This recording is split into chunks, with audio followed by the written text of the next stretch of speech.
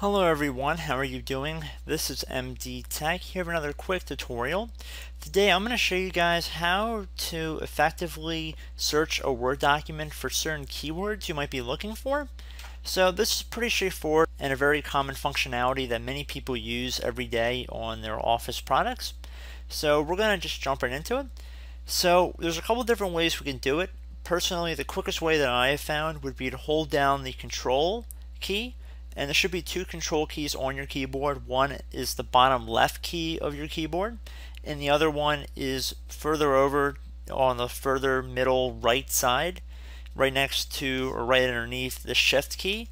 Both control keys are right underneath the shift key, and you want to hold down the F key while you're holding down the control key. And then this will open up a search bar on the right side, and now you can start searching for a word. So let's say we want to type in jokes. We want to look for jokes. Let's type jokes here.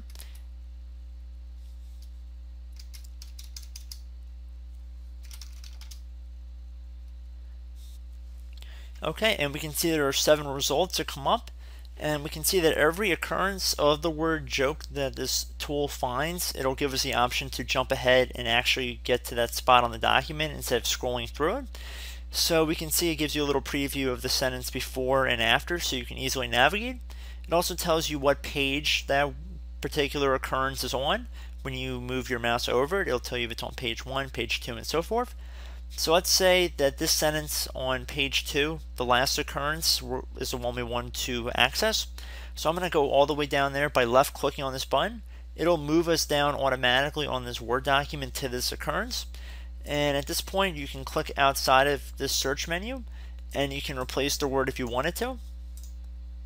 And you can replace the word if you wanted to or do whatever you want. The whole point of this is just to find certain keywords. So once you've found it, you're more than welcome to change it if you wanted to do so. Another way you could access this would be to go up to the top right, or at least close to the top right, and left click on this Find button. And if you hover over it, you can actually see it it gives a keyboard shortcut Control F, which is what we did in the first method. So you want to left click on this button, and it, again, it'll open up this navigation pane, and you can search for whatever words you're looking for. Now, please keep in mind if your search is too generic, like you're looking for the letter E, you're going to see there's a whole bunch of occurrences like 811 so you definitely want to narrow it down as much as possible.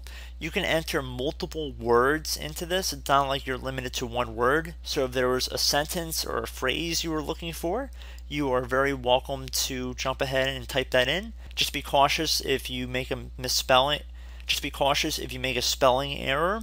It will not detect it because once you make that spelling error it's going to lose any search results meaning the results will only get smaller from this number. So every letter we type after this letter E, we're never going to gain more results because the occurrence of any combination of letters is only going to get smaller and smaller as we better define our search. And I think that makes sense if you think about it for a moment. But I do hope this brief tutorial helped you guys out, and I will catch you in the next video. Goodbye.